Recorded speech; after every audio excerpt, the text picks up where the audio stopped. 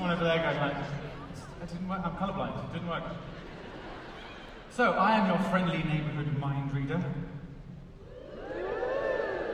I like the game show audience vibe, thank you. But that doesn't mean I'm psychic. I don't read palms, I don't talk to the dead. I read people, and I talk to the living. Usually. And I need two living people to come up here to have their minds read. However, those two people need to be chosen at random. Otherwise, some of you might think I'm using actors or stooges or secret plants hidden in the audience. So, we here at the Champions of Magic have developed our very own patent pending random audience volunteer selection device. He's cute. He's cuddly. He's 98% polyester. He is the champion of magic. I see a few of you appreciate a good pun. That's good. Here's how the champion of magic works. First of all, we bring some house lights up, so I can get a good look at you. And then I throw the champion at you. Whoever catches him, whoever's lappy lands him, whoever gets hit in the face by him, is our first random volunteer. Now, for various reasons, I cannot bring you up here to read your mind if you're under the age of 18. So if he does land in your lap and you are under 18 years of age, then just put down your beer and your iPhone and pass them on to the nearest person over 18 because they'll be really pleased about it, I assure you. So whoever catches him first, just stand up and wave him around so I can see you, but stay where you are for now because I need two people. So the first person to catch this, I'm going to try and chuck it somewhere in the middle here. I'm not going to look. Just stand up when you catch him. Ready? One, two, three. fly, my pretty fly. Literally a woman there who's like, no. It's very charming, but I'm not going up. Do we have someone brave enough? Could you stand up if you have a champion? Hey! See, they love you already. Uh, please, nice and loud, uh, what is your name? Paul? Okay, Paul, in a moment you are going to come join me on stage. There's steps either side. But Paul, I don't want you to be alone. Throw that chimp in again, and I'll take the nearest person that's over 18. So it's going to be Paul and whoever catches it next. So give it a good throw, any way you like. Paul, that's good. In the aisle, not so great, Paul.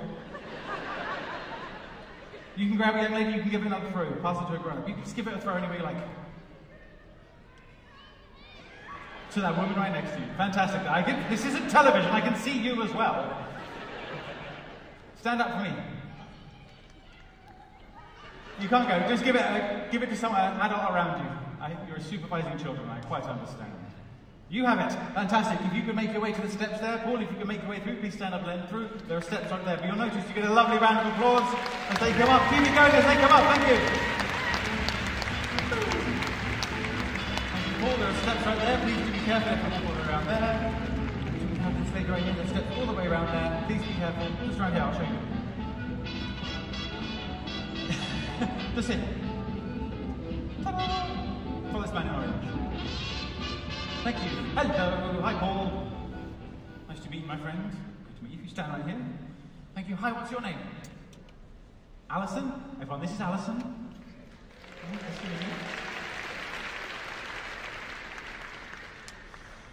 Do keep your coat on, you know. Planning on leaving early. So, how are you both? Are you both well? Yes? Yes? Good, good. I'm fine, by the way. Thanks for asking. So, now the reason I ask is honestly, I don't want either of you to feel, you know, anxious or nervous. I'm not going to reveal anything uh, that would be embarrassing unless it's really funny. So, Paul, uh, you're going to be kind of a warm up for me. So, I would like you, please, uh, to think of in your mind right now a short English word. A short English word. So, if short is seven letters or less. And don't go for cat or dog because those are kind of a bit too easy to guess. So, just yes or no, do you have a word in mind right now? Yes, fantastic. I'm going to give you this pen and a piece of card. A pen and a piece of card, because I want you to write down that word, just so we've got some proof later on. Nice and clearly right there, then fold it back up. So the writing's on the inside. Thank you, Paul. Now, with you, I'd like a bit more of a challenge. So I want you to think of uh, someone that you know, someone you know personally, but not someone who's here tonight, because you might think maybe I've seen the tickets, I know you've got Barton who's here with you or something. So someone you know, it could be a friend, colleague, family member, anyone you like. Don't worry about their last names because last names can be easy to guess. Do you have someone in mind? Yes? Fantastic. I'm going to give you a pen. So like I said, just their first name is great. And also, if you know it, their age as well, focus on that, and also their relationship to you. So fill in your card, fold it back up so the writing on the inside. Thank you. All finished? Fantastic. Tell you about my pen, Paul, because Well, you look exactly like the kind of man that's still stationary. Lifted a printer or two from work, I can tell. So, just confirm for everyone out here, you can't quite see because this is a very small piece of card. Like, this is a thick, a thick piece of card. You can't see through it, no? But so you guys know it's nice and safe. It's going to go inside this uh, envelope. Please make sure there's nothing else inside there, so you're not going to switch it or swap it or anything like that. There's a holes in the bottom. It really just goes in just like that. You can seal it as well. That would be perfect. Take it, seal it. Thank you. And likewise, here's an envelope, or if you prefer, envelope for you. There you go. Take back my pen. Could you seal it for me? I mean, lick a thumb if you want and seal it. So the last two years didn't happen. Good. So, yes, please. Thank you. It's just so you know your thoughts are safe, at least for now. And likewise this. So Paul, you are my warm-up, so you're gonna, I'm going to start with you. Uh, but you can relax for a bit. Your coat off if you like. You can sit. uh, you can, I'll put your envelope there so you know it's You can sit on the envelope and just relax for a while I come back to you. Paul, sit behind the microphone for me. And hold on to your envelope. And uh, it's very bright here, can you see there are exit signs glowing in the distance there, little specks of light? Maybe that one over there. I want you to focus on it and use it as a, a focal point. Keep your eyes on it at all times, because in your mind, I'd like you to start saying this word over and over again. But don't say that loud, because that uh, takes the challenge out. So whatever this word is, just keep repeating it on a loop in your head, nice and clearly, nice and slowly. Let's do fast. Nice and slowly say this word in your head. Good. Good, good, good, good. Now, uh, just to get me started, keep focusing on the light. Look at me. Just in your head, could you think of a letter just somewhere in the middle of the word? Just one letter, somewhere in the middle. Just choose one. Thank you. Oh, mm, don't change your mind because that confuses me. Because the letter E is in there, yes? Yes. What's the letter Q crossed your mind for a moment? Is that true? Yes? Yes. I mean, notice how the audience just burst into a spontaneous round of applause there.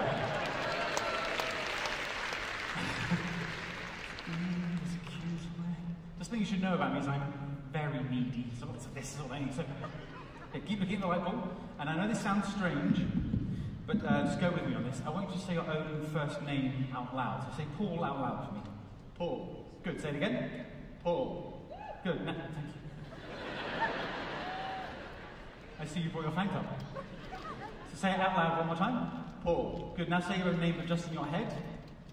Good. Done. Now say the word but just in your head. Um,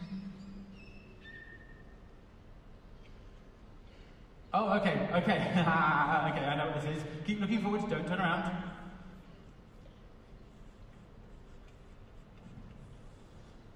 Spell that right?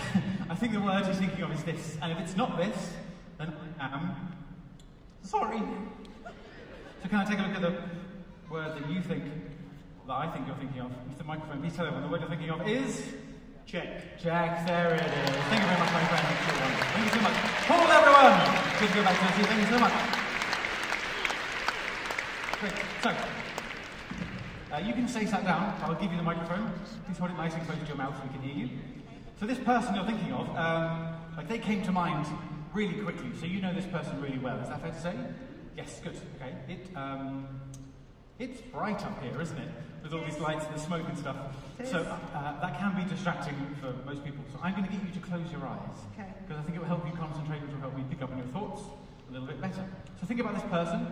Think about um, their age. Think about their name. Think about what they look like. Think about the last place you saw them. Have all this information in your head. And just at this very moment right now, ignore it all and think about one thing. That one thing is the very first letter of this person's name.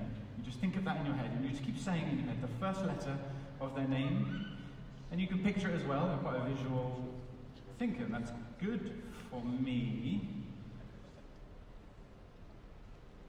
So keep your eyes closed, but into the microphone. What is the first letter of this person's name? L. L. Good.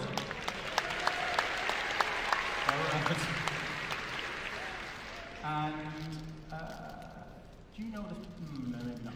Do you know, yes or no, do you know this person's age? Just yes, yes. or no? Yes? yes? And you know it exactly? Exactly. Exactly good. So close your eyes and just focus on the age for me. Imagine a written in front of you. I think you're a bit more visual. So in front of you. Good. So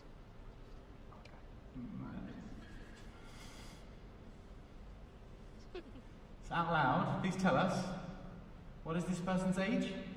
Age 16.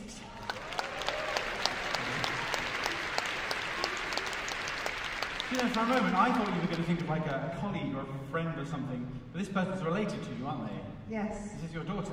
Yes, it is. Yes, it is. Good. So imagine for me right now. Keep your eyes open. Imagine your daughter's here. Okay. Mason, you didn't bring your 16-year-old to come see a magic show, but fine. so imagine she's here right now, and she comes up on stage, and you're going to introduce me. You only do this in your head. You imagine she walks up the steps, she comes over here, and you say, in your mind, you say, Alex, I'd like you to meet my daughter, blank. And in your mind, you fill in the gap. So, Alex, I'd like you to meet my daughter.